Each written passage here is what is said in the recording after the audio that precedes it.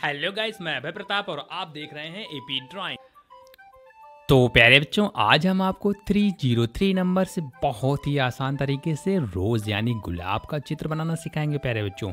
आपने बिल्कुल सही सुना प्यारे बच्चों, आपका कान जो है धोखा नहीं खा रहा है। आज हम आपको जो है 303 नंबर से गुलाब का चित्र बनाना सिखाएँगे। देखिए आपको करना क्या है, जैसे हम आपको बता रहे हैं सेम आप उसी तरह करते रहिएगा तो आपको जो है गुलाब का चित्र बनाने से कोई भी नहीं रोक सकता है प्यारे बच्चों। ऐसा ट्रिक आप अपना कर जो है अपने दोस्तों को स्कूल में जाके अपने दोस्तों को चौंका दीजिएगा। तो यहाँ पे आप सबसे पहले जो है थ्री लिख देंगे। सबसे पहले आपको करना क्या है मेरे बच्चों? पहले तो आप मार्कर, पेपर और पेंसिल उठा लीजिए और हमारे साथ बनाना शुरू कर दीजिए। फ़र्स्ट स्टेप में, सेकेंड स्टेप में आप यहाँ पर थ्री लिख दीजिएगा। थ्री लिखने के बाद आप बहुत ही आसान तरीके से एक ऐसे ज़ीरो लिख देंगे। कैसे कैसे आपको लिखना है, इसको बहुत ही ध्यान से देखिएगा। कोई जल्दबाजी मत करिएगा। थ्री ज़ीरो थ्री लिखने के बाद यहाँ पे थ्री हो गया, ज़ीरो हो गया। इसके बाद अब आपको करना क्या है? एक थ्री आपको इस तरह लिखना होगा।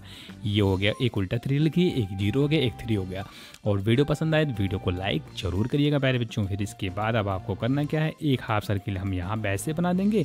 एक हाफ़ सर्किल आप यहाँ पर बहुत ही आराम से बनाइएगा। कोई जल्दबाजी मत करिएगा।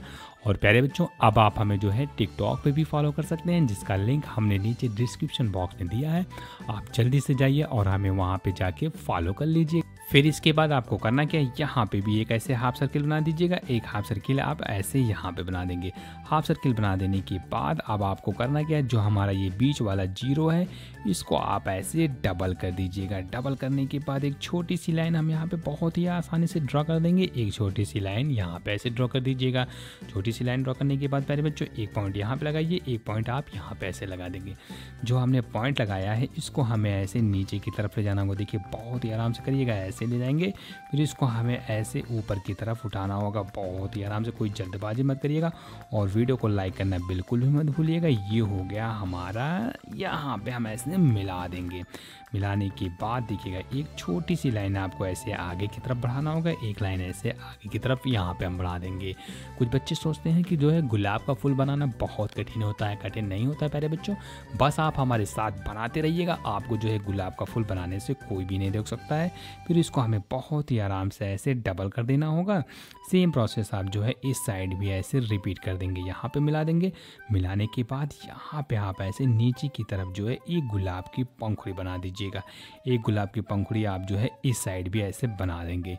पंखुड़ी बनाने के बाद एक छोटा सा हाफ़ सर्किल यहाँ पे ड्रॉ करिए, एक हाफ़ सर्किल यहाँ पे। इसको हमें ऐसे नीचे की तरफ़ सीधी लाइन ड्रॉ करना होगा, एक लाइन आप यहाँ पे ऐसे ले जाइएगा।